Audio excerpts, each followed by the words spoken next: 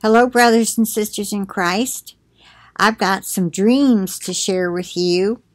Um, this is Tuesday, June 30th at 6.03 p.m. Oh, I was just thinking it was probably his supper time. I get to working and I just totally lose track of time. But he's sleeping. So I'm going to leave him alone. He didn't sleep last night. I didn't get much sleep either, but anyway, I wanted to share this with you. So, now this first dream was given to Chris Chapin, and I do believe it was meant for him, but he said that I could share it, and I decided I would because it may pertain to some other people, and I, I firmly believe it will uh, maybe not exactly in the same way, but it it was a rebuke to him for something. So let me share this with you. All right, and then I have another uh, video of a pastor. Some of you may have seen him, Pastor Dana. I wanted to play a little bit of his and then put the link and stuff in the description box. Well, I'm going to start with Chris's dream. All right, listen to this. I was with other people in a hotel or lodge room. Some, I think, were characters from cartoons, and he described to me in another email that he meant they were like the anime characters. The, uh, they're like Japanese looking, Asian looking um, figures. I knew what he meant. So the characters looked like anime characters. But that's beside the point. Um, this, hmm,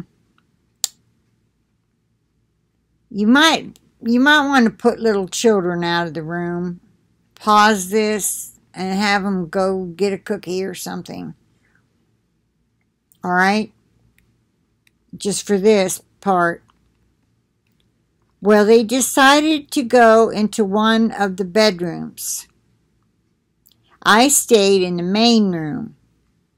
A man around my age with blonde hair came to me and told me to watch them have sex on a monitor he had put in front of me.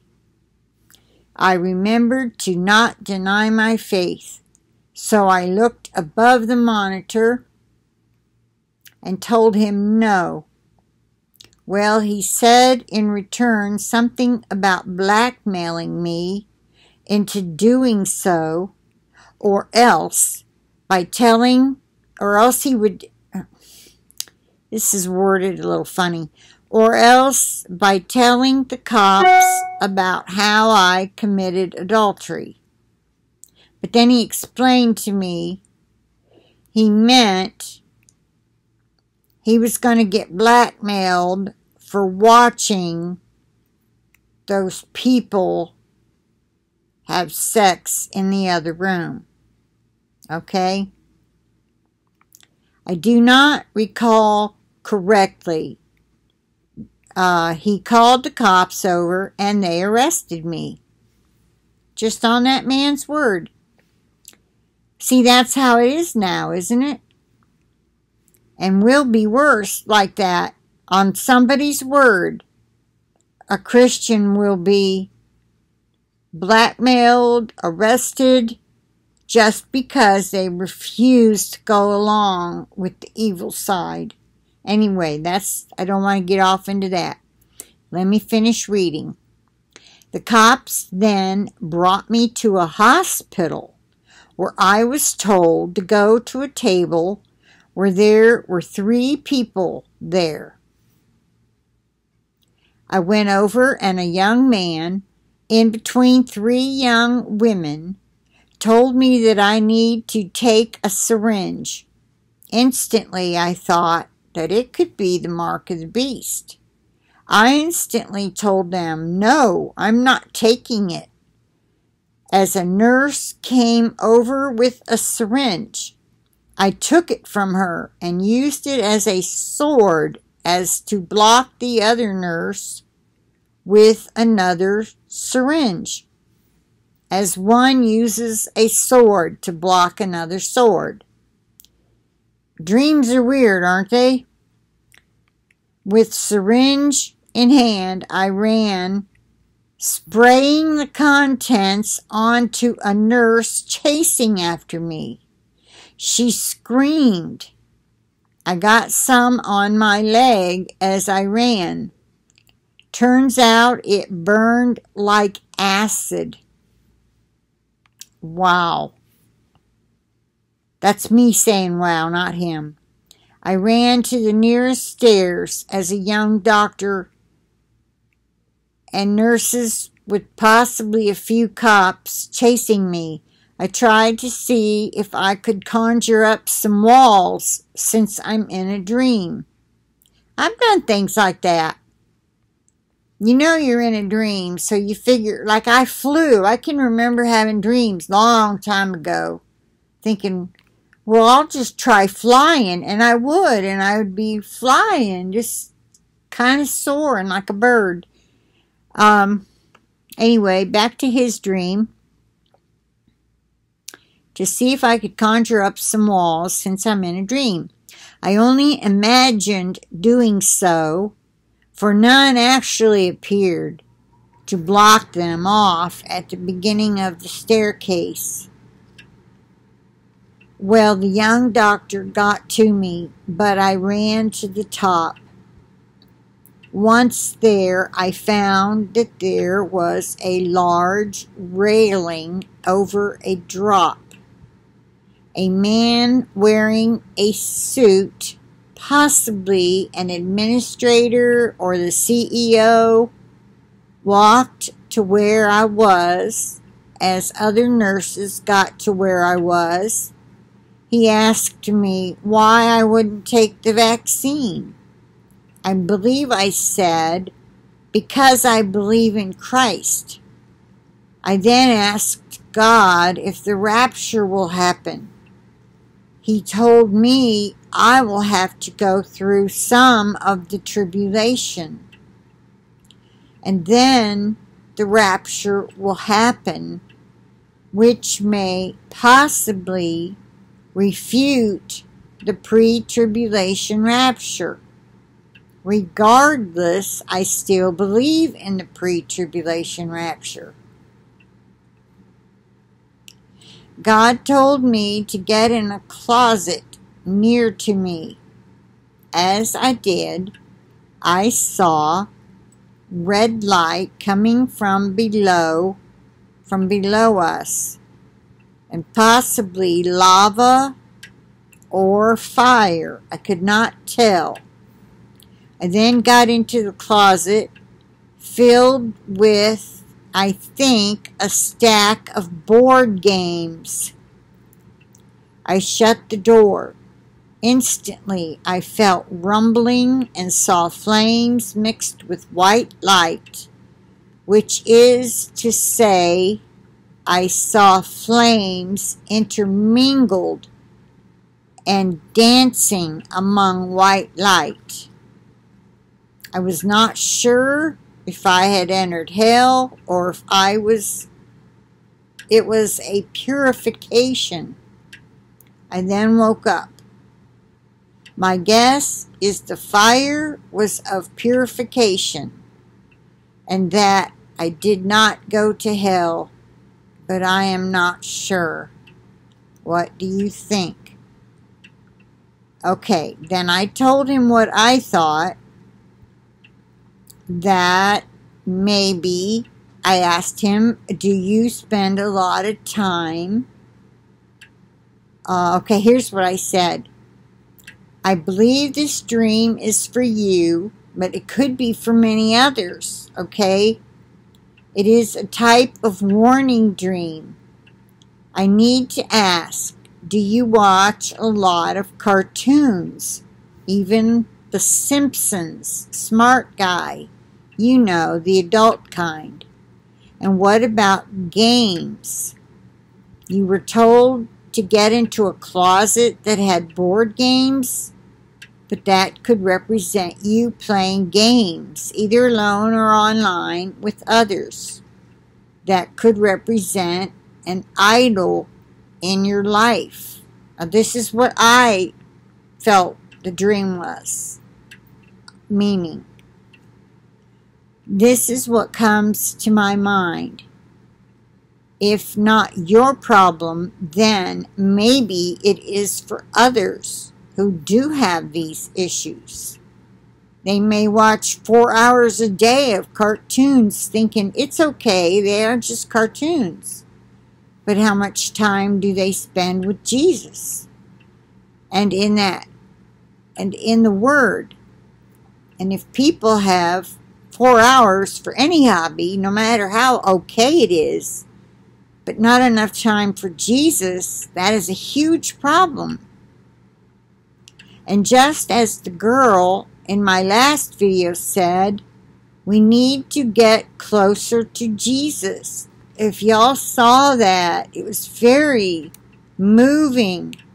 That girl having, she was praying in the Spirit as she was on her daily walk and she saw a vision of Jesus kind of far ahead of her, but she knew it was him. He had on a white robe, and you don't dress like that now, you know. So she knew it was Jesus, and she didn't like the distance between them.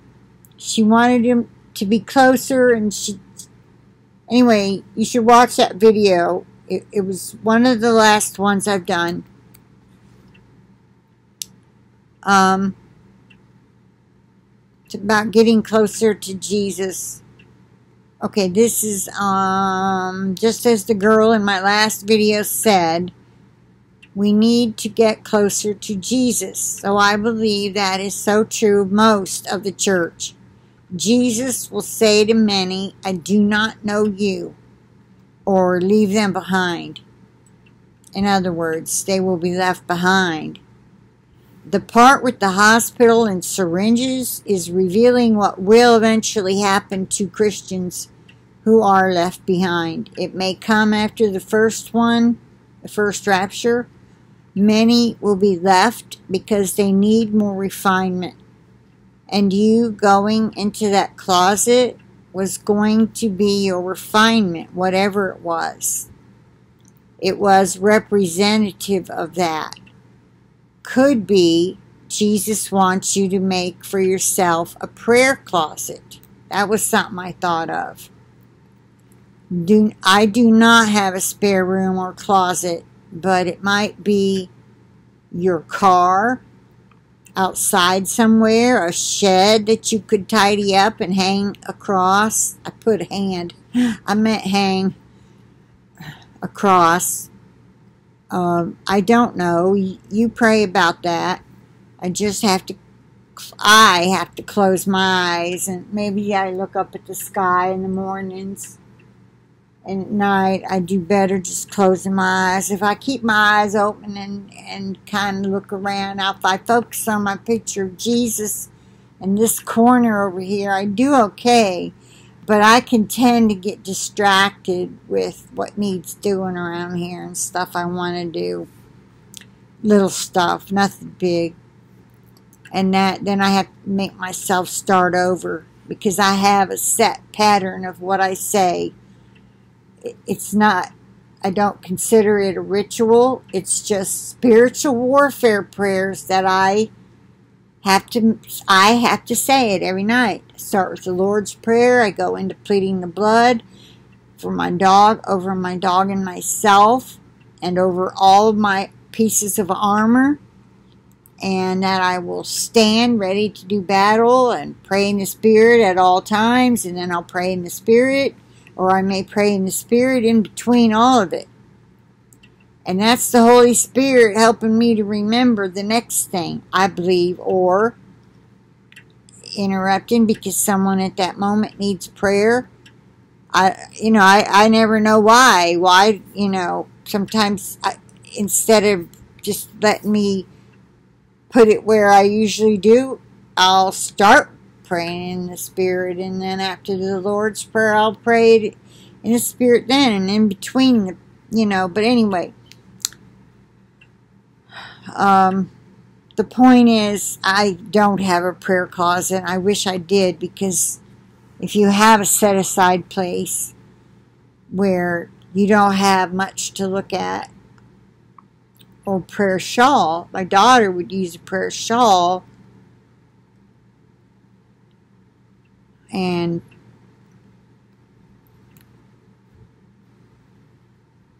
that was her prayer closet. Okay, Anyway, I asked, you mentioned committing adultery because that's how he worded it. I said, if you asked for forgiveness and you meant it, you were forgiven. Thank Father for his forgiveness of sins. Thank Jesus for dying on the cross to provide the grace we get when we are forgiven and the blood that cleanses us. Accept the forgiveness and do not worry about it anymore. I will share this. It could help others who are having issues accepting forgiveness or they have an idol in their lives. Okay, and I said, Thank you so much for sharing this. All right, well, then he explained it wasn't that he committed adultery, it was that he was going to that man was going to call the cops on him for watching those others do it. Because he wouldn't participate in their sordid little perverted games. Okay. So anyway, that was what I thought it could be. And um, anyway, I hope that helps somebody else. Okay, now I want to tell you about this pastor the video is called Three Prophetic Dreams from Pastor Dana. I never heard of this guy. His channel, well, it's on channel LWM, all caps, and then small letters, video, but all spelled together. Living Word Ministries. It stands for Living Word Ministries, Assemblies of God in Burkesville, Kentucky. Pastor Dana Coverstone is the pastor of Living Word Ministries, Assemblies of God in Burkesville, Kentucky. Makes me want to move there. Shares three prophetic dreams he has had and their relationship to current as well as near future world events. Now, the first dream is what happened in March, April, and May, and it all came to pass, and he had the dream in December. Now, let me play what his dream is for the coming three months. Uh, talk about schools opening back up and things of that nature. but the things that I saw in a dream of vision back in December are the same things that I watched in the news almost every day since March through June. All this time I kept hearing, brace yourself, brace yourself. Um, I spend time in prayer, I spend time in the Word, I'm a pastor.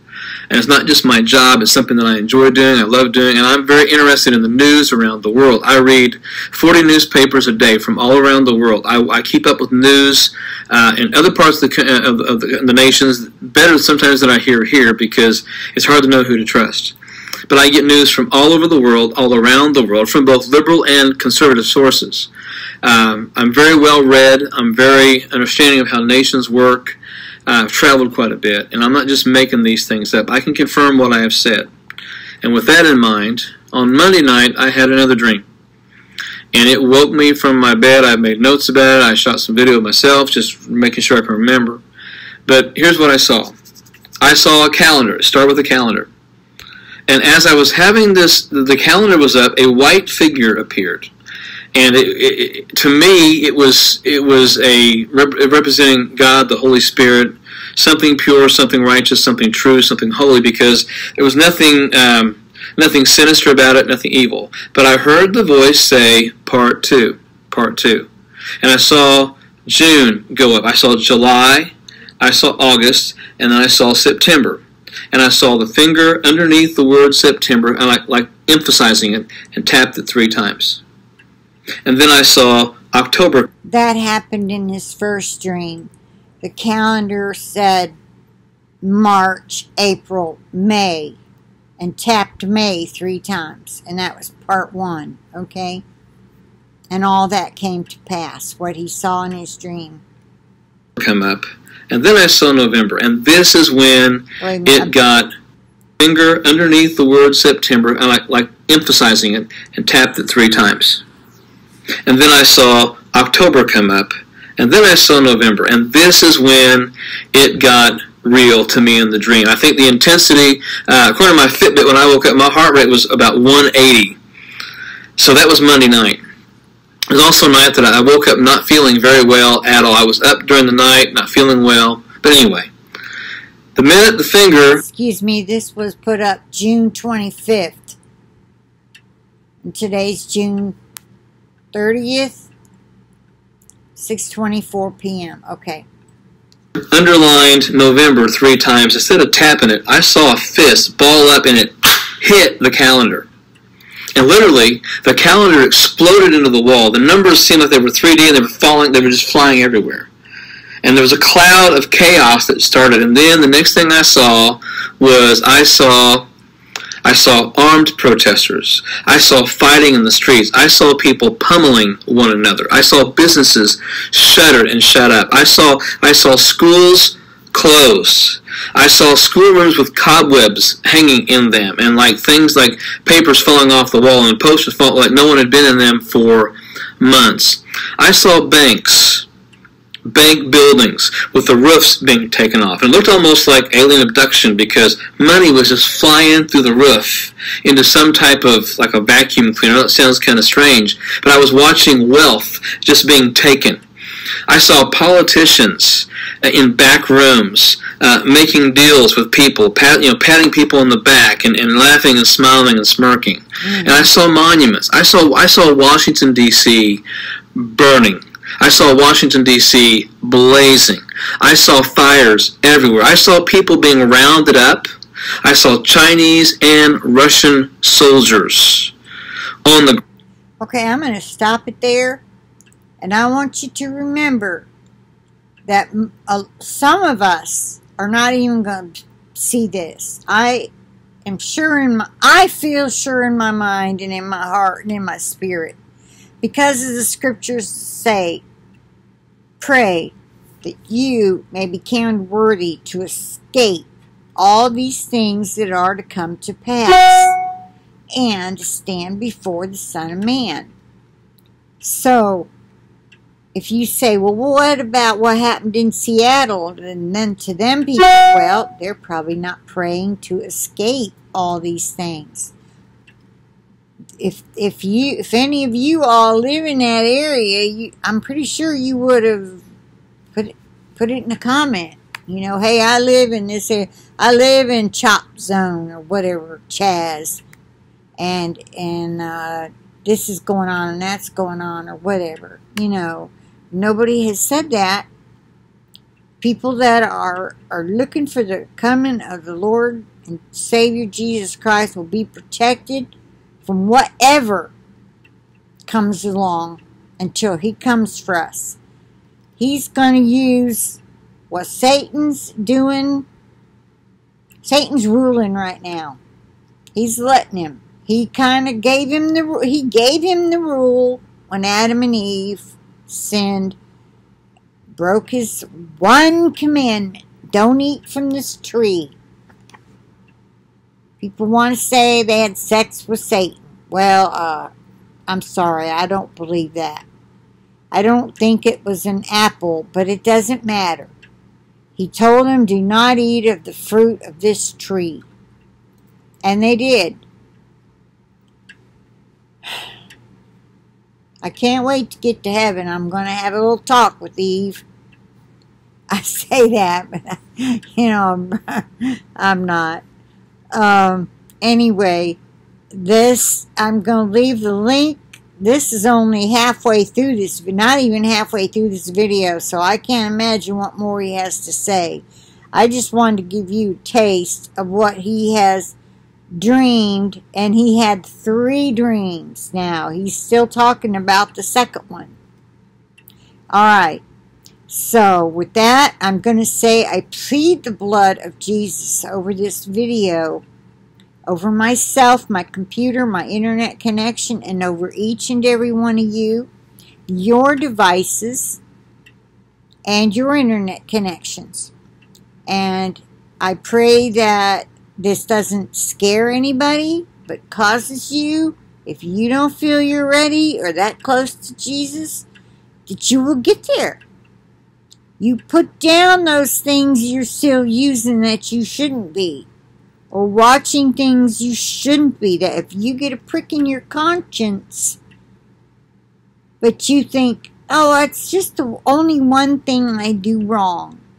Well, if you're getting a prick in your conscience to not watch it, you feel at all guilt or convicted, you know, eventually, if you keep ignoring that feeling, the Holy Spirit will quit. He will sear your conscience, and you'll be able to turn it on and not feel anything and won't bother you a bit. So don't do that. If you feel led to, to quit anything, quit it. Or to start doing something, start doing it. How close are you to Jesus? How close? I want to be closer. I want to spend more time in prayer, praising and worshiping